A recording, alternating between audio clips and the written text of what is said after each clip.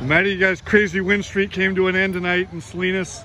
Uh, tell me emotionally what this game meant to you guys. Uh, it meant a lot to us because we knew this is like the league title game. If we won this, we knew we were going to be league champs. But it just really sucks losing it, and we know. But we know we got to come back to work and just focus on the next week, flush it, and it's just a tough one.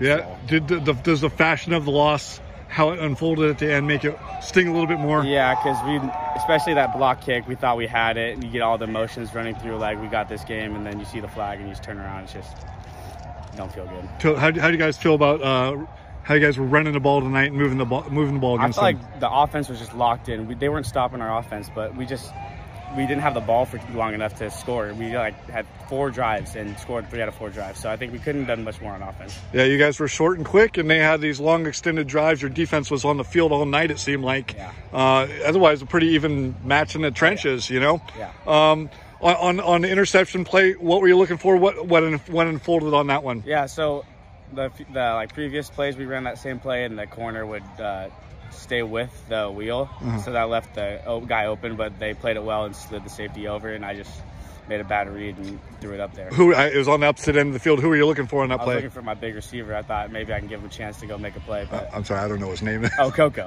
oh, oh, 88. Okay. So uh, yeah, you guys are trying to incorporate him in the offense. Yeah. You're a water polo player guy.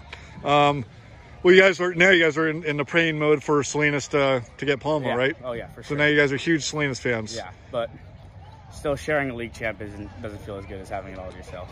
Were, were you guys looking at anything on any other websites in terms of possible CCS matchups, or were you guys living in the moment and Eh, kind of, but that's not really on our minds right now. Obviously, once we get to the moment, we're going to be all looking at it, see who we play, see what division we are. But right now, it's just about winning the league champ and just sharing it at least. I, I know you don't probably want to give a shout out, not a shout out, but thoughts on on Palma's running back tonight? He did. Oh, he's a big dude.